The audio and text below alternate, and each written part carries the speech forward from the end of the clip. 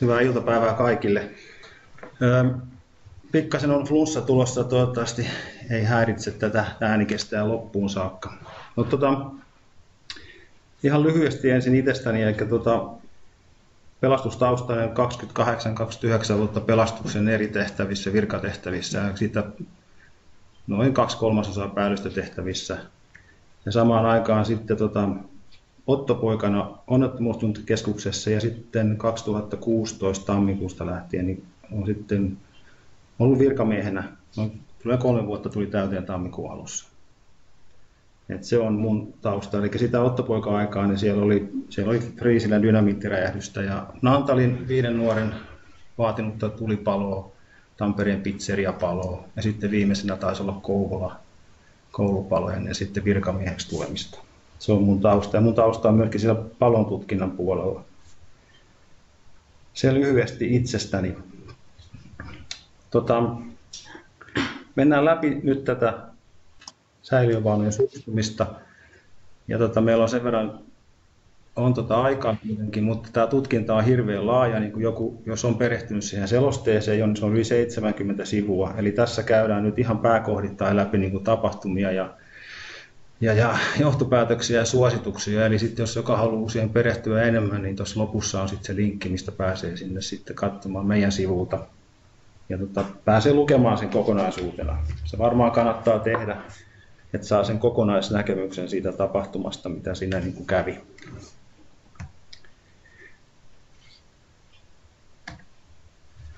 Mennään eteenpäin.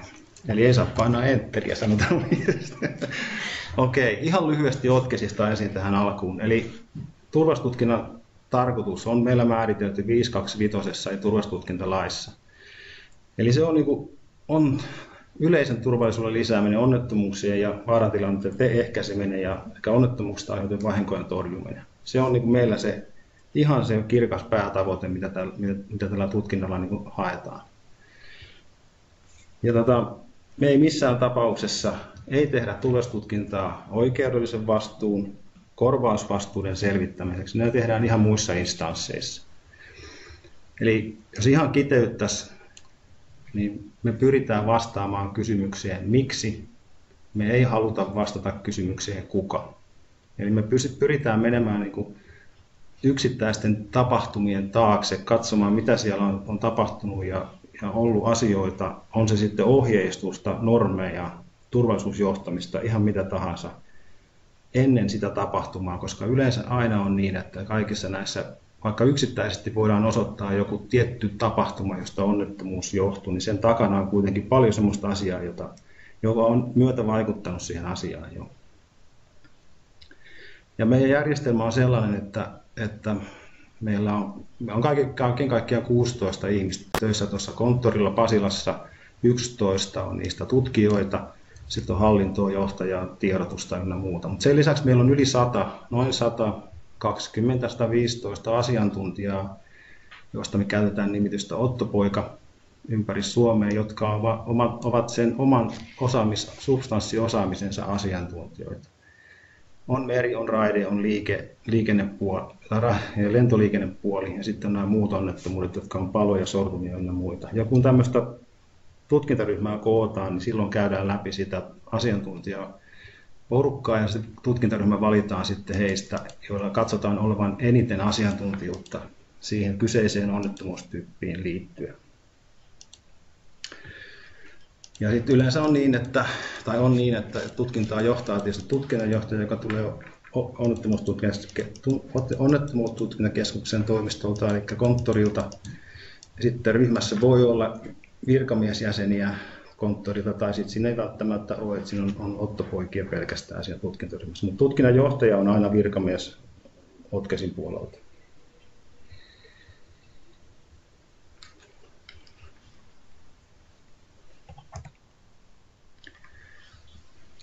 Sitten mitä se tutkinta pitää sisällään, tai mitä, siihen, mitä siinä täytyy tehdä sen tutkinnan kulun yhteydessä. Meidän täytyy selvittää tapahtuman kulkusyyt ja seuraukset.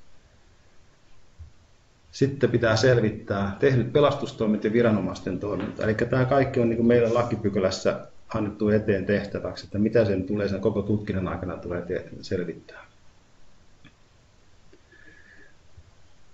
Ja tota, jos miettii sitä, meidän tutkinnat kestää kuudesta yhdeksään kuukauteen, voi sanoa näin nyrkkisääntönä, niin jos miettii sitä selvittämisen laajuutta, mitä joudutaan tekemään siellä tapahtumien taustalla, niin siitä johtuu tämä, että ne, tahtoo, että ne kestää näinkin pitkään. Joku joskus kysynyt, että miksei sitä voi kuukaudessa puhdistaa ulos, mutta silloin, se, silloin sitä työtä ei ole tehty ehkä niin kunnolla kuin olisi pitänyt. Eli se vaatii aikaa, siihen liittyy kuulemisia paljon, hyvin paljon. Tässä tapauksessa taisi olla kymmeniä kuultavia tässä Mäntyharjun tapauksessa. Joten se vaatii oman aikansa. Sitten meidän pitää erityisesti selvittää, että onko turvallisuus otettu huomioon onnettomuuden johtaneessa toiminnassa. Onnettomuuden tai vaaran aiheuttajina tai kohteena olleiden laitteiden rakenteet, suunnittelut, valmistus ja käyttö. Eli se, se selvittämiskenttä on hyvin laaja. Ja sen lisäksi meidän pitää selvittää, on johtamisvalvonta, tarkastustoiminta asianmukaisesti järjestettyä ja hoidettua. Ja tota, on myöskin selvitettävä, että jos sieltä löytyy jotain puutteita turvallisuutta ja viranomaisia koskevissa säännöksissä ja määräyksissä. Eli tämäkin taas vaatii oman aikansa, että se asia saadaan kun sillä tavalla faktapuolisesti selvitettyä, että se voidaan sitten edetä sen asian kanssa. Mitä on sitten syyt? No, syyllä tarkoitetaan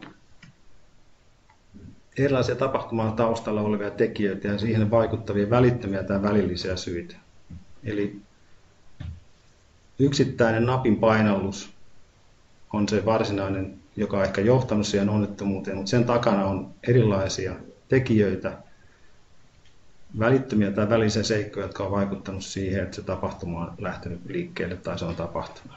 Ja me pyritään nimenomaan näihin pääsemään kiinni, ei siihen yksittäiseen napin painallukseen. Eli niin kuin mä alussa sanoin, niin ei, siihen, ei vastata siihen, että kuka, vaan koitetaan vastata siihen, että miksi.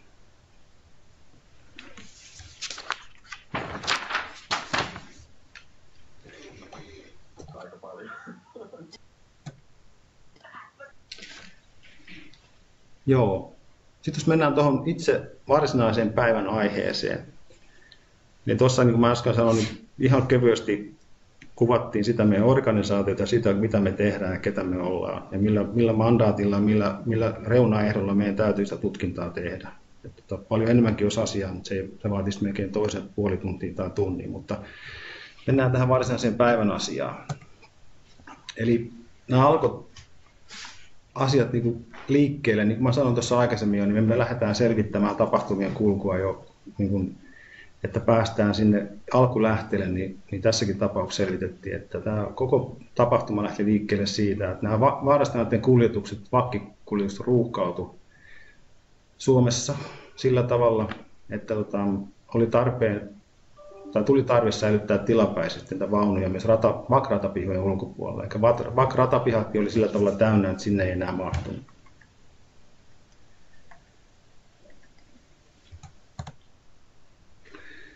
Ja tota, kuljetusta vastannut valtionliikenteen harjoittaja eli VR pyysi rataverkon haltijalta eli liikennevirastolta tilapäisiä säilytyspaikkoja Kouvolan ympäristöstä Venäjältä Vainikkalan kautta tuleville, tuleville säiliö- tai vakkikuljetuksille. Ne oli matkalla Mussalon satamaan, mutta sinne ei, ei, tota, sinne ei mahtunut enempää. Sen takia tämä pyyntö sitten tehtiin. Ja liikennevirasto määritteli nämä paikat tilapäiseen säilytykseen ja se käytti siinä määrittelyssä apunaan tämmöistä selvitystä, joka oli tehty käytöstä poistettujen rautatiekaluston säilytyspaikkoja varten. Ja, ja tota, siitä, sitten, siitä listasta löytyi Harju, Selänpää, Kinni ja Lelkola. Ja tämä meidän onnettomuuspaikka niin oli nimenomaan tämä Kinnin, Kinnin paikka, missä tämä onnettomuus tapahtui.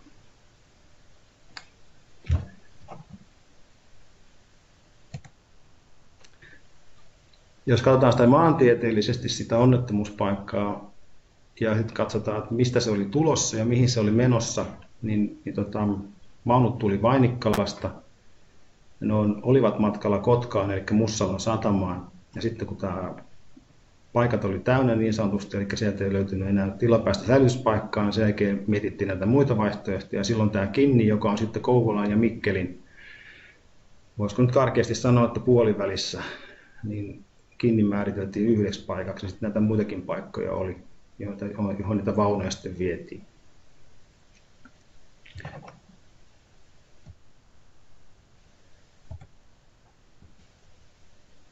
Ja sitten päädyttiin siihen, että näitä voidaan säilyttää tilapäisesti siellä kinnissä ja niitä vietiin sinne 50 vaunua MT, MT, MTPEtä sisältänyttä vai säiliövaunu siirrettiin sitten kinniin 27.3.18 niin aamupäivällä.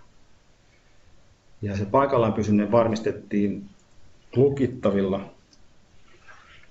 pysäytyskengillä ja sitä ennen niihin vaunuihin tehtiin tämän juna, junahenkilöstön puolesta tehtiin tämmöinen täysjarrutus, joka tarkoitti sitä, että ne vaunut, vaunut jäivät seisomaan niin kuin jarru päällä, mutta ei, ei niin kuin sanottuna ei käsijarrujen, käsijarrun kautta, vaan nimenomaan normaali jarrujen kautta niin, mutta niin, että siihen tehtiin täysjarrutus ennen kuin veturi irrotettiin. Ja sen jälkeen lisättiin näitä pysäytyskenkiä, yhteensä neljä kappaletta, kaksi kumpaankin päähän. Siinä oli määritelty tämmöinen tarkastus vuotojen ja, ja tämmöisten varalta niin oli, oli määrätty päivittäin käytäväksi. Ja siellä myöskin käytiin ja tästä löytyi kirjanpito sitten meille tutkinnan aikana. Ja se alkoi 22.3. ja se, se jatkui tuonne 7.4. saakka, eli onnettomuuspäivään saakka. Tämä oli pelkästään vuotojen varalta, eli tässä ei sinällään ohjeistettu tätä henkilöstöä niin kuin tässä paikallaan pysymisessä, vaan idea oli se, että, varmistetaan se, että siellä ei vuotoja synny. Ja jos syntyy, niin sit siitä saadaan niin asianmukainen tieto eteenpäin ja päästään siinä puuttumaan.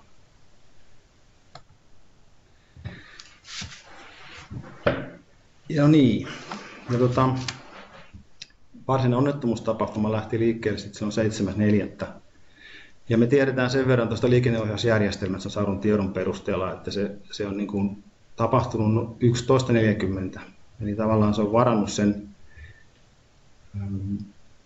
se on varannut sen turvaraiteille johtaneen vaihteen kello 11.40. Se ei niin kuin päätynyt millään tavalla siihen pääradalle tai pääkis, no pääradasta voi puhua tässä tapauksessa varmaan, vaan se jatko matkaa sen tämmöisen raidepuskimeen.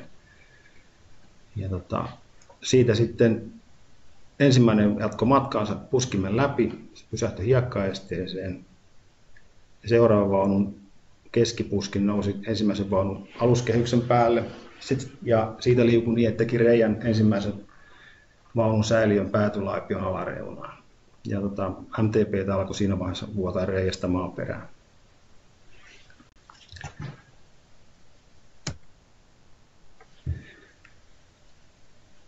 Ja silloin 12.07 paikan ohitti tavarajuna ja sen kuljettaja havaitsi tämän onnettomuuden ja tota, ilmoitti sit siitä liikenteenohjaukseen, joka teki sitä asianmukaiset ilmoitukset siitä eteenpäin.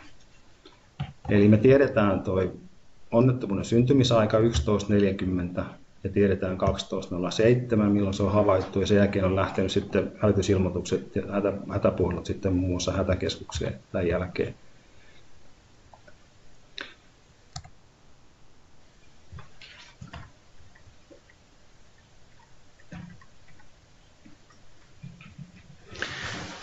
Tässä on hieman kuvaa siitä onnettomuuspaikan ratapiha-alueesta. Ja tota,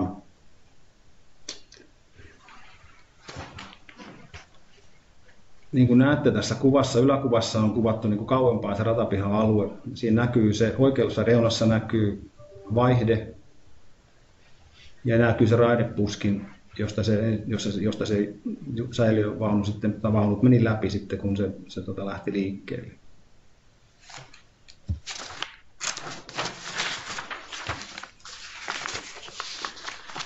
Me tiedetään tutkinnan perusteella se, että se on tota, tosiaan se lähtö, liikkeelle lähtöaika tiedetään, tai milloin se on ohittanut sen, sen vaihteen, se tiedetään. Niin me tiedetään, että ne on rullannut alamäkeen 145 metriä.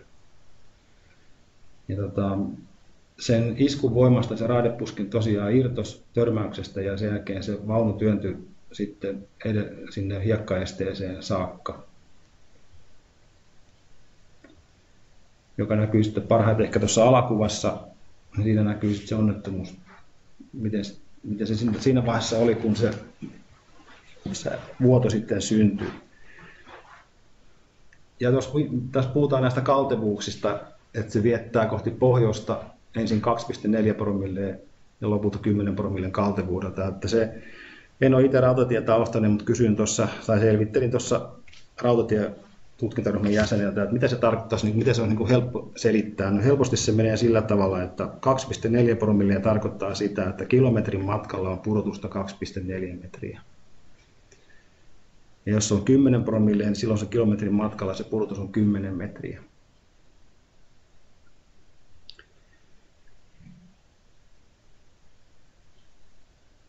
Ja tosiaan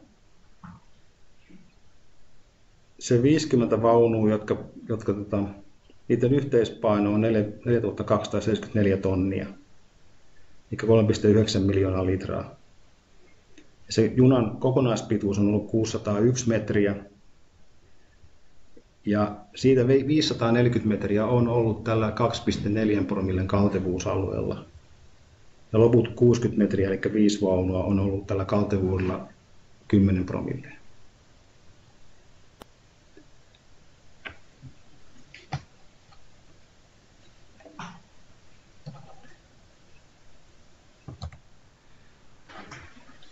Ja pysäytyskengistä sen verran, että tässä on nyt yksi, tai tämä mallinen oli myöskin tässä kinnissä pysäytyskenkänä. Ja se lukittavuus, joku jossakin vaiheessa kysyi sitä, no eikä se pysäytä sitä vaunuletkaa, jos on kyllä lukittu paikoilleen. Se on lukittu sillä tavalla paikoilleen, että sitä ei ikivaltaisesti pysty irrottamaan tuosta kiskon päältä, mutta se liukuu siinä kiskolla niin kuin se on tarkoitettu sen toimintaperiaate. Eikä rengas nousee, ei saa puhua renkaasta, mutta siis vaunun pyörä nousee ton, ton jarrukengän päälle ja sitten kitkalla se hidastuu jossain jo, jollakin matkalla sitten se pitäisi pystyä pitämään se vaunuletka paikallaan. Mutta se ei tosiaan ole lukittu sillä tavalla, että se pitäisi, että se on niin lukittu siihen kiskoon kiinni, vaan idea on se, että sitä ei pysty ilkivaateessa siirtämään pois paikalta. Sitä pystyy liuuttamaan kyllä kiskoon pitkin, mutta ei repimään sitä kokonaan pois.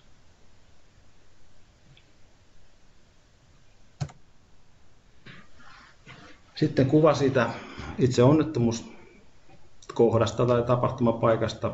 Eli tässä näkyy se niin kuin vaunuljetkan viimeinen säiliövaunu, eli tavallaan niin kuin ensimmäinen tästä täältä takapäästä katsottuna, joka meni sinne hiekkaesteeseen, ja sitten, sitten näkyy tämä toinen vaunu, joka nousi sen ensimmäisen vaunun telin päälle, ja siitä liuku sitten päätyi edellä tuohon, tuohon säiliöön ja aiheutti tämän vuodon.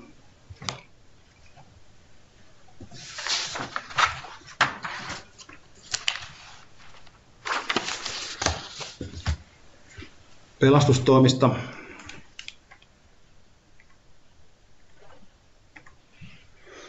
Eli me ollaan tässä koitettu, tähän kartalla esitetään sitä paikkaa ja aluetta, missä se sijaitsi, ja sitten myöskin sitä, että, että, että miten yksiköt sinne, tämä on yksi kuva onnettomuustutkintaselosteesta, ja siellä on muassa kuvattu se, että millä tavalla yksiköt on sijoitettuna tuohon onnettomuuspaikalle jossakin vaiheessa sitä onnettomuuden torjuntatyötä.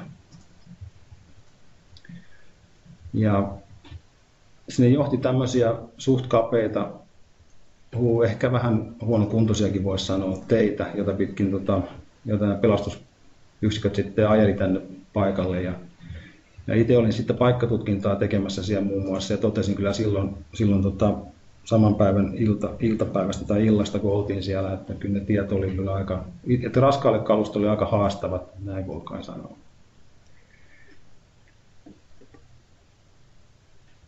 Ja jos tuota kuvaa katsoo vielä, missä on tuo karttakuva siis, niin tota, siinä näkyy tämä ratapiha-alueen rata.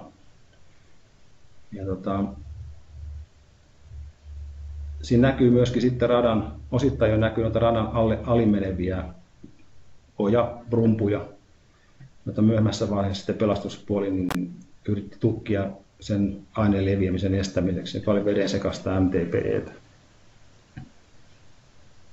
Pelastustoimet kesti seuraavan päivän iltaan 21 saakka. Eli kesti aika pitkään. Se alkoi silloin ensimmäinen yksikkö oli paikalla seitsemäs päivä niin kello yhden aikaan. Eli tota reippaasti yli, yli vuorokausi tehtiin sitten pelastusteitä. Mitä tuli seurauksia onnettomuudesta? Välittömiä oli se, että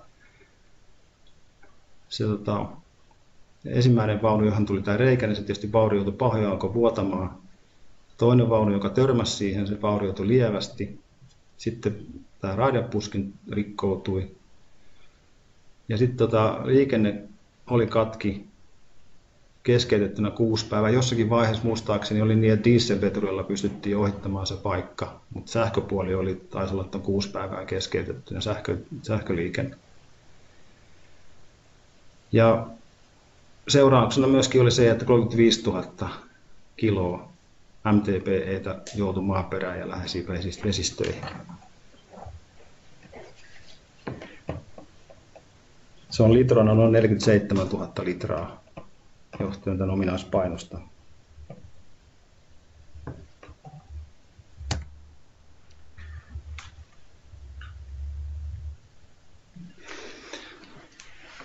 Joo, sitten ympäristövaikutuksista. Ähm, kun sillä pääsi tuota vuotamaan sinne ratapenkan viereiseen ojaan ja siitä sitten lähti etenemään, niin se, tota, se kulkeutui läheisin vesistöihin saakka. Ja siellä on edelleen tällä hetkellä siellä on, on tota jonkinlainen seuranta päällä, että mis, mitä siellä tapahtuu. Ja nyt taas kun kevät tulee ja sulamisvedet lähtee liikkeelle, niin saattaa olla niin, että taas pitoisuudet nousee. Ja tota, jos mietitään niin kuin torjuntatoimien näkökantilta tota asiaa, niin tässä niin kuin ehkä isona asiana on se, että onnettomuuspaikan ja sen ratapenkereen, se ratapenker on ehkä niin tavallaan se, se alue, johon olisi, joka tavallaan, jossa kulki näitä rumpuja sen ratapenkan aliosta, niin kuin tässä kuvassakin näkee, ne pääsee, ne, antaa aine päästä vesi, vesimassan mukana liikkumaan sitten eteenpäin kohti sarkavettä asti.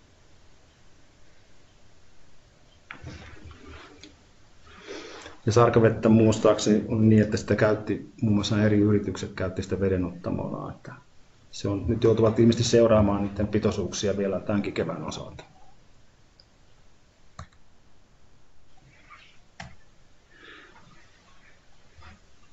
Tässä on koottuna ihan osittain lyhyesti versiona niin pää, päätapahtumia sen, sen viikon ajalta, jolloin tämä onnettomuus tapahtui. Eli lauantai 7.4. on se onnettomuuspäivä. 11.40 tiedetään, että silloin se vaunuletka on mennyt ohi siitä vaihteesta. Se on havaittu 12.07, hälytys on 12.20 ja, ja tota, ensimmäinen yksikkö on kohteessa kello 13. Ja sen jälkeen torjuntatyöt tai pelastustoiminta on jatkunut siellä seuraavan päivän, 6 tai tota, 8. päivä 4. kello 21 saakka.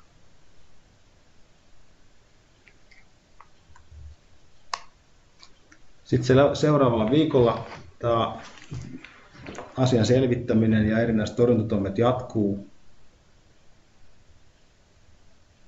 ihan koko sen seuraavan viikon päättyen siihen, että lauantaina 14.4. niin partusalueella ojanruoppaus ja, ja levitystyöt aloitetaan. Eli jos katsoo sitä palkiston alareunaa, niin siellä näkyy pelastustoimien aikajana. Sitten jatkuu ympäristövahinkojen kartoitus, torjuntavastuun selvittely jatkuu. Sitten sen jälkeen tuli ympäristövahinkojen torjuntatoimet, jotka lähti silloin keskiviikosta sitten eteenpäin.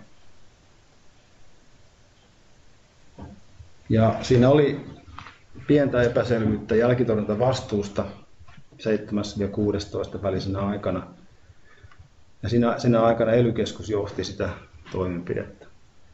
Sitten 17.4. torjuntoiden tilaajaksi määriteltiin VR-yhtymä ja käytännön toimenpiteestä vasta sitten Rampoli.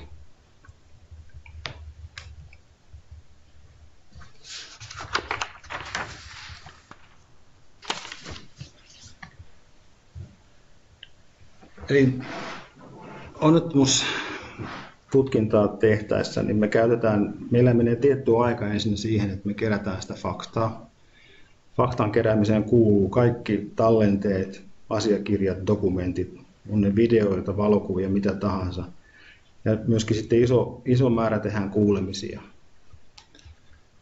Ja faktan keräämisen jälkeen saadaan se teksti, kirjoitus, kir, aloitetaan se tekstin kirjoittaminen ja kun päästään siihen vaiheeseen, että faktaosuus rupeaa olemaan suurimmaksi osaksi kasassa, niin sitten ruvetaan miettimään sitä aksimappipäivää, eli puhutaan analyysipäivästä.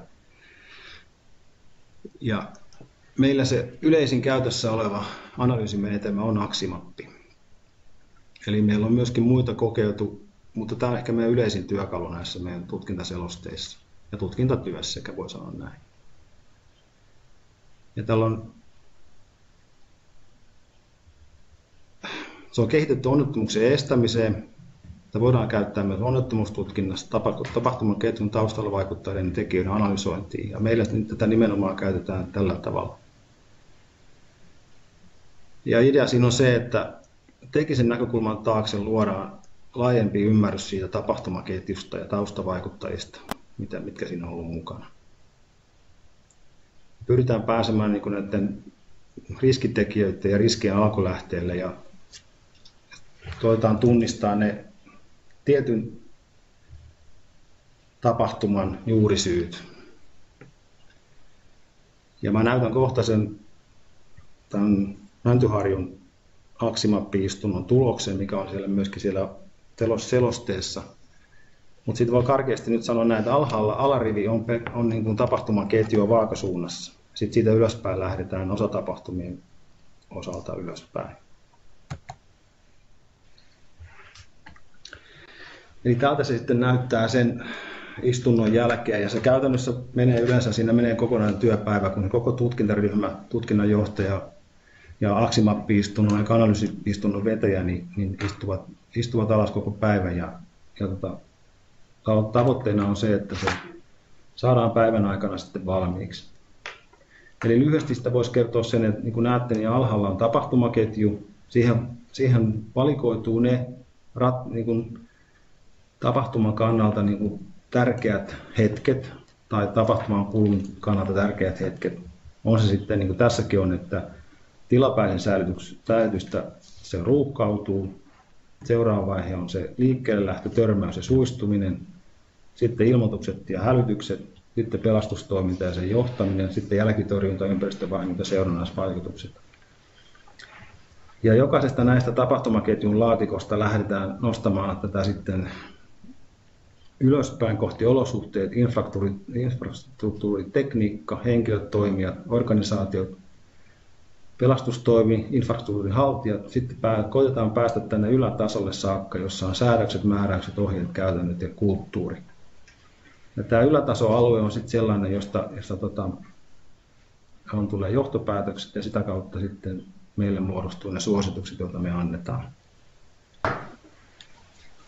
Tämä tuotos on se, jonka tämä tutkintaryhmä tuottaa yhdessä sen tutkinnan johtajan ja analyysivistunnon vetäjän kanssa. Eli nämä tutkintaselosteet, kun ne kirjoitetaan auki, tapahtumat, faktat ja sitten niin analyysin kautta johtopäätökset ja, ja tota, suositukset, niin ne ei, ole, niin kuin, ei olivat ole yksittäisen ihmisen mielipiteitä siinä tutkintaryhmässä, vaan se on yhteisesti käsiteltyjä asioita, jotka, jotka nojautuu tähän analyysiistuntoon.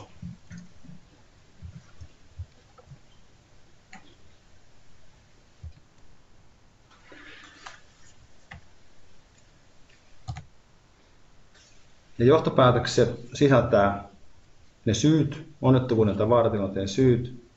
Niin kuin mä sanoin tuossa aikaisemmin jo, ne, ne, niillä tarkoitetaan tapahtuman taustalla olevia tekijöitä ja siihen vaikuttaneita välittömiä ja välillisiä seikkoja. Ja ensimmäinen johtopäätös oli se, että tämä Venäjältä tuleva vakkiliike, vakkiliikenne ruuhkautui niin paljon silloin keväällä, että syntyi tämmöinen tarve tilapäiselle säilytykselle myöskin vaikka ratapihojen ulkopuolella. Ja tutkinnan aikana meille tuli semmoinen aika selkeä kuva siitä, että, että, tota, että ei ollut liikennevirastolla ja VRL ei ollut oman tulkintansa mukaan keinoja tähän liikenteen pysäyttämiseen. Ja tota, myöskään liikenteen turvallisuusvirastolla ja liikennevirastolla ei ollut tietoa siitä, että me ruuhkautumisongelma on syntynyt.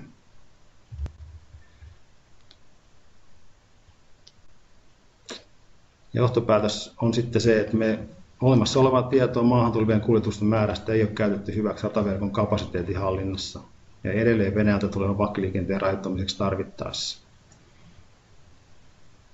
Ja silloin tutkinnan aikana käytiin näitä sopimuksia ja, ja muita läpi siinä, kun selvitettiin tätä asiaa, niin kyllä meille osittain muodostui sellainen kuva siinä että siinä olisi ollut mahdollisuuksia jo tässä vaiheessa tämän onnettomuuden tapahtumahetkellä, että siihen rajoittamiseen oltaisiin pystytty. Tota, sitä ei kuitenkaan tehty sitten. Sitten johtopäätös kakkonen ja kolmonen, mutta kakkonen ensin. Eli, eli tota, nämä säilytyspaikat liikennevirasto määritteli VRn pyynnöstä lähelle Kouvolaa ja sitten määrittelyssä käytettiin apuna näitä käytöstä poistetun rautatiekaluston säilytyspaikoista tehtyä selvitystä. Ja siinä määrittelyssä ei huomioitu VAK tilapäisen säilyttämisen vaatimuksia eikä radan pituuskaltevuuksia. Ja, ja tota, meidän käsitys on se, että sitä vakvaunujen tilapäisen säilyttämisen aiheuttamaa riskiä niin ei vakratapihojen ulkopuolella niin ei ehkä tunnistettu kunnolla. Mutta tiedetään, että, että, että tota, kun mennään vakratapion ulkopuolelle, niin se turvallisuustaso romahtaa. Että siellä ei käytännössä ole niitä, mitään suojamekanismeja, mitä vakratapiholla on. Ja myöskin tässä tuli ilmi se, jota paljon mediassakin oli, että tota, ohjeistus pelastusviranomaisen ilmoittamiselle oli, oli epäselvä. Vaunujen valvonnasta vastasi nämä tota, henkilöt, niin heille ei annettu koulutusta eikä perehdytystä siihen aineeseen eikä siihen vaaraan tavallaan, mikä tähän heidän valvontatyöhönsä liittyy. Tehtävä oli pelkästään vuotojen tarkkailu. Eli tota, jos siellä olisi vuotoja syntynyt ja, ja henkilö olisi siihen sitten, heillä ei ole muun muassa ollut, ei ollut tota, asianmukaisia suojavälineitä. Eli tavallaan se, se työnantajan vastuu siitä perhittämisestä niin ei toteutunut.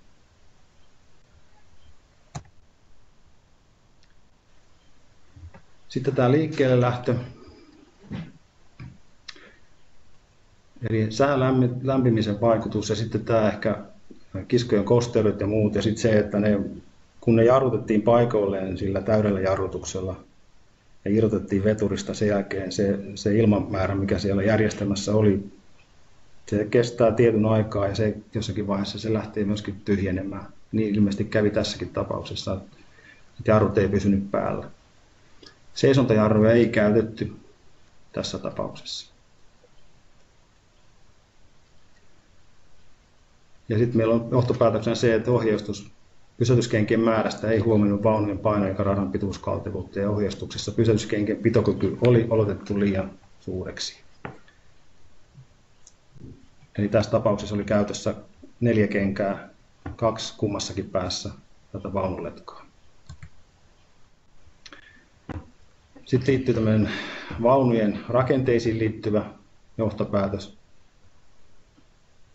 Että tota, se rakenne- ja sivupuskien puuttuminen kostnormin mukaista vaunusta aiheuttaa helposti vaurioita törmäystilanteessa.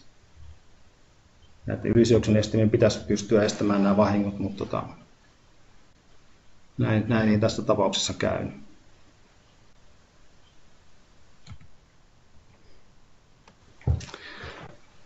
Ähm, hätäkeskuspäivystäjä ei ehkä onnistunut riskinarviossaan niin luomaan itselleen sekeitä kuvaa siitä onnettomuustilanteesta, että, että, hän hälytti vasteilla pieni. Ja tota, jos moraohjeita mietitään, eli näitä hätäkeskuspäivystäjän ohjata, niin siellä jos puhutaan säiliövaunusta, niin silloin se vaste pieni niin ei ole se oikea, oikea, tota, oikea vaste tällaiseen onnettomuuteen. Ja silloin pitäisi mennä sen johtopäätös. Meillä oli siinä se, että riskinarvion ohjeen noudattaminen tämmöisissä harvinaisissa onnettomuustyypeissä ja, ja semmoista, mikä tapahtuu harvoin yksittäiselle päivystäjälle, niin pitäisi noudattaa niitä ohjeita ja edetä sen mukaisesti.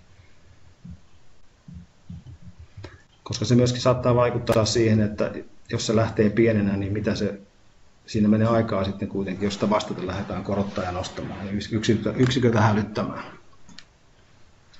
Myöskään tämä riskinarvio-ohje ei selkeästi ohjannut päivystäjää selvittämään aineen YK-numeroa. Että puhuttiin pelkillä kirjain, kirjainlyhenteellä siitä aineesta. Pelastustoimintaa johdettiin etänä.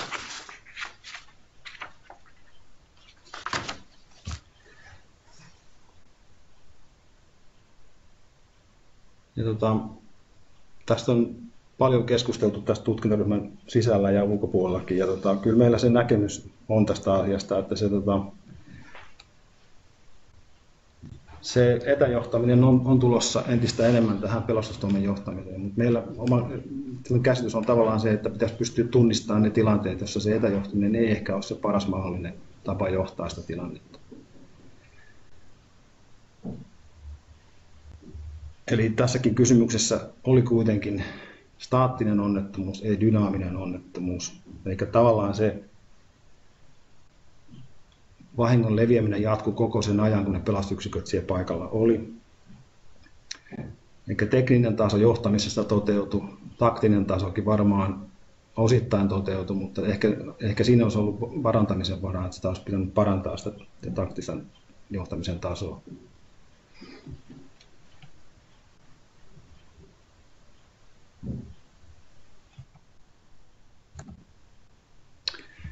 Tilannepaikalle ei perustettu toje- eikä toiminta-alueen johtoelintä, joka kun pelastusviranomainen on, tai pelastuminen johtaja on se yleisjohtaja sillä hetkellä, kun tämmöinen tämän tapainen onnettomuus tapahtuu. Ja, ja, ja tämmöisissä tapauksissa usein ne muodostuu, tai sinne, siihen liittyy paljon eri viranomaisia, eri toimijoita, niin siinä suhteessa tällainen tämmöisen tojen perustaminen on, on ainakin tutkintaryhmän perusteella on, mielestäni on perusteltua, koska se helpottaa sitä yhteistoimintaa, etenkin pitkäkestoisessa, niin kuin tässäkin oli, niin helpottaa sitä yhteistoimintaa. Tässäkin tapauksessa onnettomuuspaikalla oli useita viranomaisia yrityksiä, pelastuslaitos, ensihoito, liikennevirasto, VR, Rambol, Mitä tässä on ei näyttää?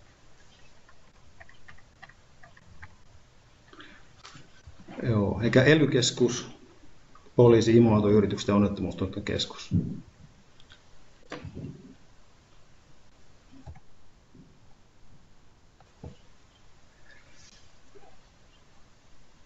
Sitten tästä työturvallisuudesta liittyen tähän pelastushenkilöstöön ja siellä paikalla toimineisiin joukkoihin, niin, niin tota, se riskiarviointi ei ehkä toteutunut parhaimmalla tavalla. Se, ehkä se käsitys se johtokeskuspaikalla poikkesi hieman siitä tilanteesta, mikä siellä oli aidosti siellä onnettomuuspaikalla. Eikä tämmöistä jat- riskien jatkuvaa arviointia onnettomuuspaikalla niin tulisi kehittää.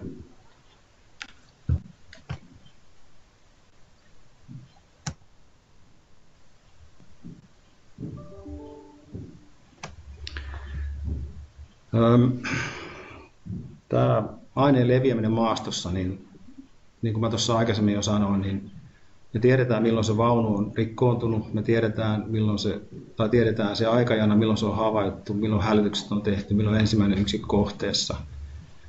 Ja siitä kun se ensimmäinen yksikkö on tullut kohteeseen, niin se vuoto on jatkunut kuitenkin tuntikausia eteenpäin. Eli ei puhuta staattisesta onnettomuudesta, vaan puhutaan dynaamisesta onnettomuudesta, joka, jotka, joka vahinko niin jatkuu koko sen ajan, kun ensimmäiset yksiköt oli paikalla, niin myöskin sen jälkeen. Eli, eli tota, ehkä ensimmäiset tiedustelut ja muut jäi osittain vajavaiseksi, joka olisi ehkä voinut, kun puhutaan siitä, että se ratapenger on tavallaan se kriittinen tekijä tässä vaiheessa, että sen sen aineen leviäminen se ratapenkan toiselle puolelle näiden rumpuputkien kautta, niin oli ehkä se, se tietynlainen käännepiste, jota olisi pitänyt pystyä ehkä paremmin aikaisemmin jo tekemään niin torjuntatöitä.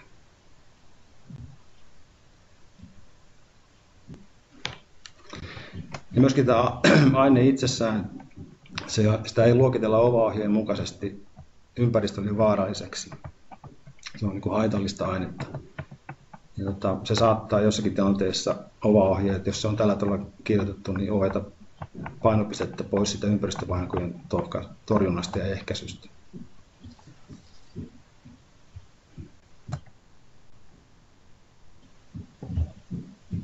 Sitten tähän avirooliin tulesjohtamisen tilanteessa, eli, eli tota,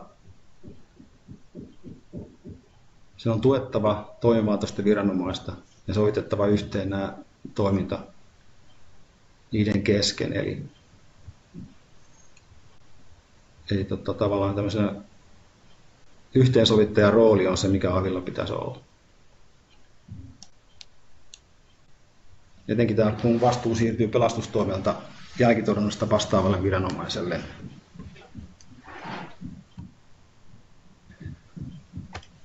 Tämä tieto onnettomuudesta välitettiin Itä-Suomen aville ja ely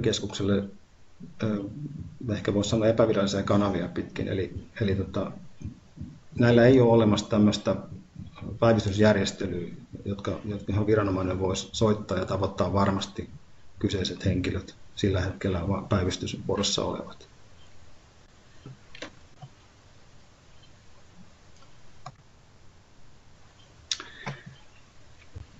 Sitten mennään näihin suosituksiin.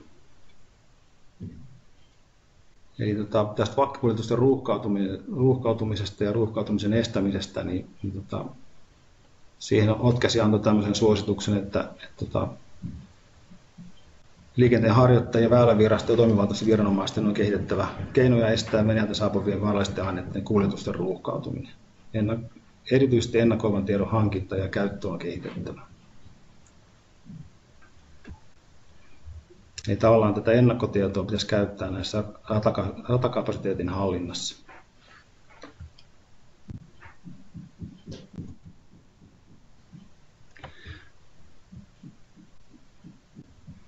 Ja on tämä tilapäinen säilyttäminen, joka tässäkin tapauksessa, jota, tehtiin tässä Kinnin tapauksessa. Eli silloin tiedetään se, että vakrattapihan ulkopuolella tämä turvallisuus romahtaa. Ja tota, ehkä niitä riskejä ei ole tunnistettu. Ja siitä johtuen tämä suositus on, että, että, että tota, liikenteen harjoittaja rataverkon haltijoiden tehtävä riskiarvio vakvauden ja tilapäin säilyttämisestä muualla kuin nimetellä VAK ratapihalla ja on varmistettava, että VAK lain edellyttämät huolellisuutta ja turvallisuutta varmasta koskevat velvoitteet toteutuu. Tässä on ilmeisesti tehty jo jotain, mä annan tuossa myöhemmin, on sitten se toteutetut toimenpiteet, mitä on tähän mennessä tehty, niin siellä, siellä on tähän asiaan sitten jo selkeä muutos. Sitten tämä suositus kolmonen, joka liittyy rauteliikenteeseen, liittyy riskien tunnistamista ja hallinnan kehittämistä turvallisuusjohtamisjärjestelmissä. Eli tota, on kehitettävä normin rauteliikenteen liittyvien riskien tunnistamista ja hallintaa omissa turvallisuusjohtamisjärjestelmissään.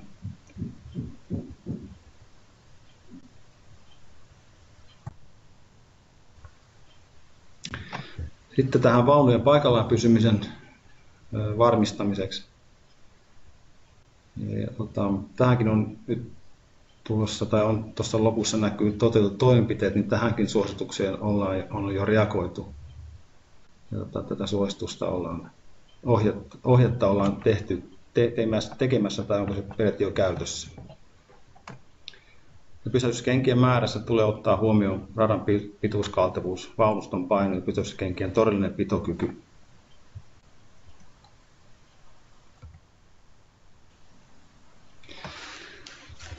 Öm,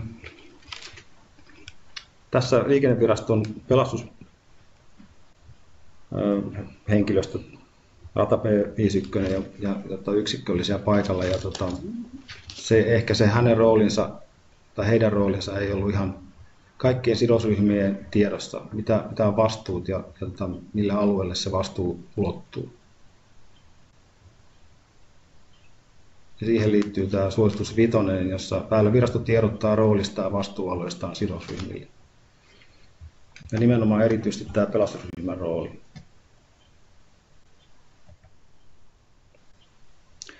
Tähän etäjohtamiseen on suositus kuutonen, ja tota, me oikeastaan nyt uusitaan se suositus, mikä oli liittyen Raasaporin tasoristeisonnettomuuteen, jossa vähän samanlaisia asioita huomattiin siinä, että tota, tämä tojen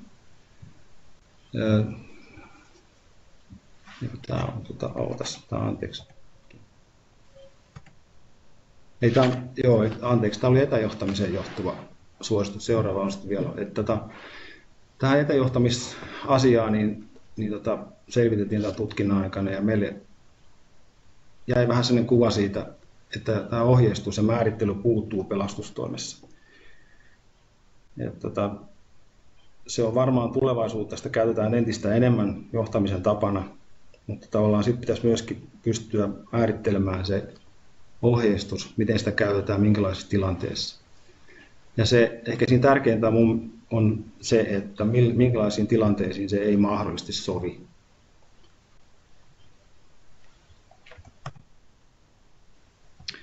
Sitten on tämä viimeinen suositus, eli ehkä liittyen tähän johtopaikan perustamiseen, eli tojen perustamiseen, ja tämä liittyy siihen myöskin aikaisemmin tuossa mainitsin Raaseporin tasoristeisonnettomuuden, jossa tämä suositus annettiin aikaisemmin. Eli silloin pyrittäisiin siihen, että moniviranomaistoimijatilanteessa tämä toja perustettaisiin kokonaistilanteen hallitsemiseksi.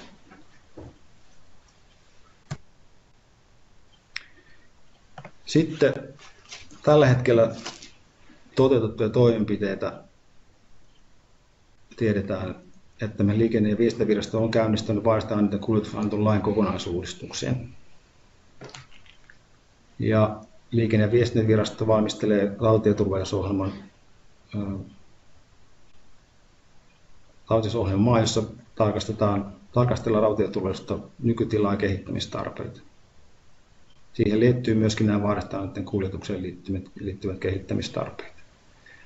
Sen lisäksi VR-yhtymä on, on toteuttanut erinäisiä asioita tämän onnettomuuden jälkeen. Että niitä vakkuljetuksia tai vaunuja säilytetään toistaiseksi vain näillä vakratapihoilla. Sitten on tämä, mistä mainitsin, tämä pysäytyskenkien osalta, eli tämä on käynnistetty tämä kattava selvitys niihin liittyvistä asioista. Nyt VR on, on, tota, on saanut sovittua näistä kuljetuksista, niiden tulotahdista Suomeen ja, ja muista asioista, ettei tämmöistä sumaa enää muodostu tänne Suomen puolelle.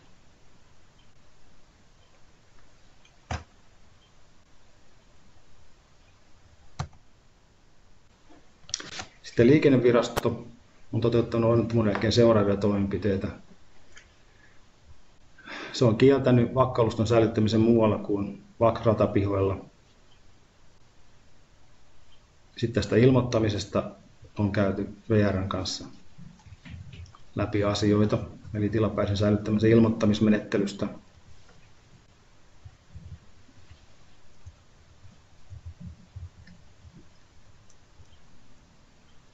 Sitten on, tota, on käynnistetty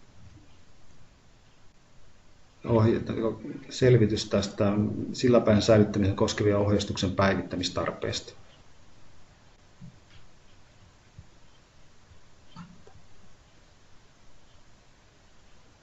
Sitten on rata, turvallisuusselvitystä ja rata pelastussuunnitelmien päivittämisasia on käynnistetty.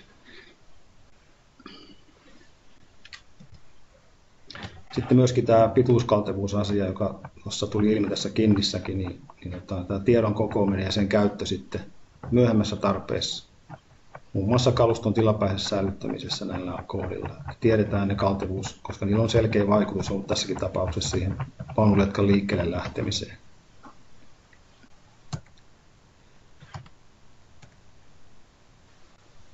Siinä ihan voi sanoa, että lyhykäisyydessään raapasu tästä selosta tai tutkin, tutkinnan kokonaisaiheesta. Ja sitten, niin kuin sanoin tuossa aikaisemmin, niin se kannattaa kokonaisuudessaan lukea se tutkintaselostus. Se löytyy tuommoisesta osoitteesta, mikä näkyy tuossa ruudulla. Siellä kysymyksiä, niin muistakaa availla mikrofonia ja kirjoitelkaa sinne chattipalstalle. Eero Aho ja Etelä-Savosta, niin jos saa vielä esittää muutaman tarkentavan kysymyksen tähän hyvään esitykseen, niin kovasti on puhuttanut tosissaan tuo etäjohtaminen ja, ja se, että miten sitä on tässä tutkinnaraportissa kritisoitu. Itse pidän sen niin tutkinnan kannalta puutteellisena sitä, että, että tässä onnettomuuden aikana pelastustoiminnan johtajana toimi kaksi eri henkilöä, käytännössä molemmat yhtä kauan omalla päivystysvuorollaan, niin toista tähän, toista pelastustoiminnan johtajaa ei, ei, ei kuultu ollenkaan tässä tutkintaraportissa, eikä myöskään näitä tilannepaikan johtajia sitä onnettomuuspaikalta onnettomuustutkintakeskus kuulu muuta kuin sähköisesti. Ja se osaltaan niin, asettaa tuon tojen ja sen tärkeyden niin kuin ainakin omasta mielestä vähän erikoiseen valoon, että, että jos tilannepaikan johtajana olleita henkilöitä ei ole kuultu siitä asiasta ja miten he on kokenut sen, että toki tässä esityksessä oli lueteltu eri viranomaisia, jotka siellä paikan päällä oli, mutta ne ei suinkaan ollut samaan aikaan siellä onnettomuuspaikalla. Niin tuntuu tosi hullulta ja erikoiselta, että tämmöinen toje, joka sinällä on jo vanhentunut termi, että ei enää pelastusopistossakaan opeteta, niin, niin tota, semmoista tulisi, tulisi sinne perustaa.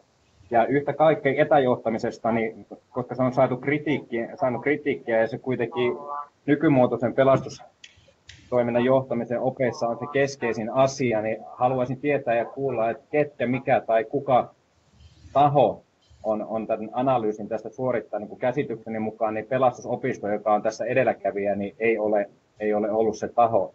Ja yhtä lailla kuin ympäristö, ympäristöriskin mahdollisuutta ei ymmärretty, tämmöinen väite oli Helsingin Sanomilla pian sen onnettomuusraportin julkaisemisen jälkeen, niin mitkä on ollut ne, puhuttiin Otto Pojista, ne tahot ja asiantuntijat, jotka on näin tämän asian tulkinnut. Eli, eli toisin sanoen, mitä pelastustoimi olisi voinut tehdä enemmän tämän ympäristövahingon torjumiseksi, kun kyseessä oli veteen liukeneva aine. Eli asiantuntijat, joita olen itse kuullut, niin he on hyvin yksisukaisesti todennut, että pelastustoimen, pelastustoimen suorittamat toimet siellä niin oli, oli oikeat ja, ja mitään muuta ei olisi ollut tehtävistä. Että on, itse raportissa lukee, että kaikkia, kaikkia käytettävissä olevaa kalustoa ei hyödynnetty, mutta ei ole esitetty minkäänlaista listausta siitä, että mitä kalustoa ei hyödynnetty, mitä olisi ollut mahdollisuus hyödyntää ja mitä olisi ollut sinne järkevästi saatavilla. Ja tähän liittyen, niin onko onnettomuustutkintakeskukselle selvinnyt, että kuinka paljon tätä MTPE-ainetta maastoon jäi? Kiitos. No joo, nythän tämä keskustelu on tuossa jo ollut esillä aikaisemminkin ja nyt niin monta asiaa, niin monta kysymystä tuli tavallaan yhdessä pitkässä lauseessa, että mä en lähde niitä tässä sen enempää vastailemaan. Mun mielestä ehkä järkevintä on se, että lukee sen selosteen kunnolla, niin mä olen aika vakuuttunut siitä, että kaikkiin noihin kysymyksiin ja asioihin löytyy vastaukset sieltä selosteen sisältä. Niistä kuulemisesta sen verran voin sanoa, että lausunnossaan, lausunnon jälkeen niin tutkijaryhmä teki näitä kuulemisia myöskin jälkeenpäin Etelä-Savon pelastuslaitoksen lausunnon perusteella, että siltä osin se on, niin kuin, on hoidettu. Mutta niin kuin sanoin, niin en lähde noita yksittäisesti vastaamaan, vaan se on siellä selosteen sisällä kirjoitettuna auki nämä samat asiat.